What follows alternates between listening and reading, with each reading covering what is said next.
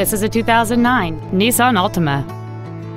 It features a 2.5-liter four-cylinder engine and an automatic transmission. Its top features include heater vents for rear seat passengers, a split folding rear seat, a rear window defroster, a CD player, a multi-link rear suspension, a security system, 12-volt power outlets, a low tire pressure indicator, a push-button ignition, and this vehicle has fewer than 14,000 miles on the odometer. With an EPA estimated rating of 32 miles per gallon on the highway, fuel efficiency does not take a backseat. This Nissan has had only one owner and it qualifies for the Carfax buyback guarantee.